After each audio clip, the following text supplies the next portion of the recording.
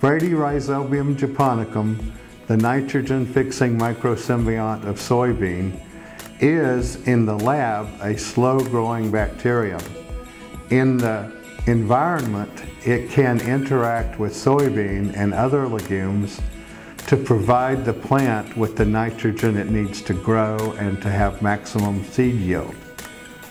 The bacterium benefits from this relationship because the plant supplies it with a rich source of carbon energy in the form of photosynthate. And then in late in the season when the nodule decays, literally millions of bacteria are released from the nodule into the soil, which is a biological advantage for the bacterium.